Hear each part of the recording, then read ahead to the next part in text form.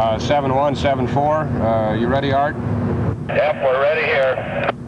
Okay, uh, 7175. Instrumentation ready, Woody? Stand ready to go. Uh, 7180. You ready on top, Mud Eye? Everything's set up here. Okay, let's uh, give it uh, back to Gamble and the O&M boys and uh, see how she operates. 6-1, this is 6-0. I'd like you to open the left spillway gates to 20,000 cubic feet per second. Coming to 20,000.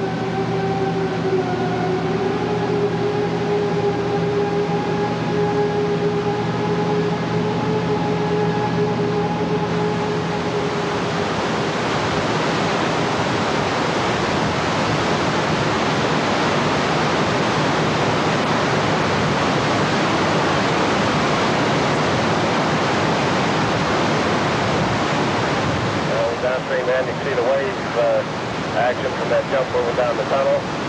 Here comes the wave from the jump. There goes the sweep. It's looking real good, looking beautiful. There's the sweep. Looking just super.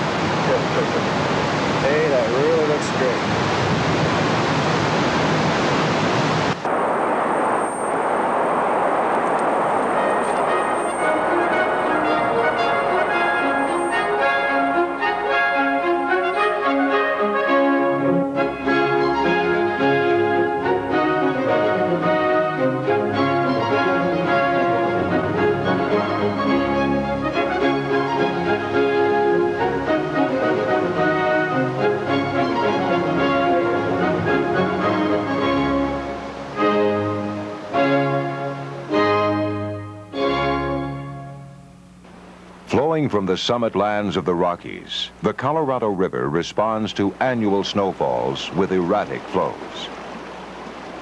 During the snowmelt period of April through July, it can roar through the canyons in a gigantic flood. Or it can flow quietly and quickly fall back after the snow is gone. During each of the past 80 years or so, the Colorado has been measured and averages have been obtained. But the river cares not for averages and seems rather to follow its own mysterious destiny. In the fall of 1982 and the early spring of 1983, snow depths in the high mountains of Colorado, Wyoming, and Utah were only a little above average. In May, however, heavy snowstorms hit the high country. It was cold then, but the heat of summer cut like a hot knife and the heavy snow melt was on. First indication of flooding occurred just west of the Colorado River Basin along Utah's Wasatch Mountains.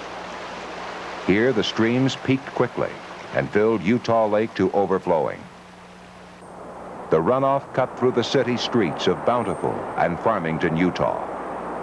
While in Salt Lake City, the water was channeled out onto some of the principal streets to form man-made rivers a fascinating diversion for office workers and tourists.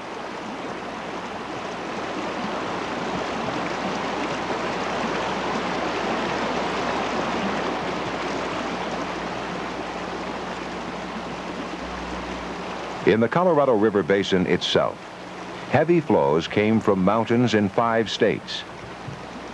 From Wyoming's lofty Wind River Mountains, the runoff rushed through Fontenelle Dam, and onto Flaming Gorge Dam, where it overflowed the lake and plunged into the spillway and bypass tubes. In western Colorado, heavy releases from Blue Mesa Dam flowed into Morrow Point Lake, which then spilled in a dramatic 350-foot drop. Crystal Reservoir also poured over its spillway in another dramatic freefall. And from the Uinta Mountains of Utah, flowed several streams and rivers. And all of these tributaries combined. From the Strawberry and the Duchesne, from the Green and the Big Sandy, from the Yampa, the White and the Eagle, from the Tomichi and the Gunnison, from the Dolores and the San Juan, from the Colorado. Every stream and every river poured into Lake Powell, where the combined waters rose rapidly toward the spillways at Glen Canyon Dam. Efforts were made to control this unanticipated rise of Lake Powell by operating the power plant at full capacity, thus releasing 28,000 cubic feet per second of water. But it was not enough, as inflow into Lake Powell rose quickly to over 90,000 cubic feet per second in early June, and the left spillway gates had to be opened. It was understood that these spillways would probably suffer some erosion by a physical process called cavitation. Cavitation occurs when high velocity flows are thrown upward by some small obstruction. This causes a partial vacuum, which produces vapor cavities in the water. These unstable cavities then collapse, sending intense shock waves against the concrete. At first, small pieces, then larger pieces of concrete are literally pounded out. After one hole has formed, a leapfrog action tends to promote the start of another, on down through the tunnel in stair-step fashion. It was realized, too, that most of the damage would probably occur at the elbow section, where the spillway levels out. After only four days' operation, inspectors found that cavitation had indeed been active at Glen Canyon. A photo taken by one of the inspectors disclosed holes in the concrete lining 20 feet wide and up to 4 feet deep. The spillways would have to be used, but the left one would carry most of the excess flow, thus preserving the right spillway for any future need. To reduce spillway use, wooden plywood flashboards, four feet high, were added to the spillway gates and the outlet tubes were opened to bypass an additional 17,000 cubic feet per second of water.